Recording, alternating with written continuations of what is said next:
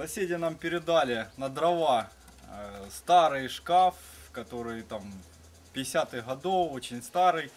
И вот его запчасти с этого шкафа. Ну, мы берем нож и делаем вот так вот. Даже лучше топор взять.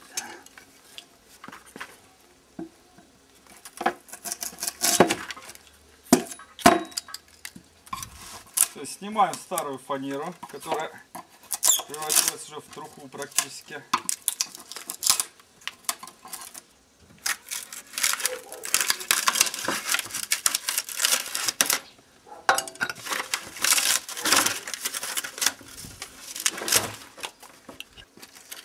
А под низом мы имеем отличные мерные доски, которые просохли за 60 с чем-то лет, которые уже э, обструганы по, по нормальной длине, которые уже стабилизировались, то есть их никуда не ведет.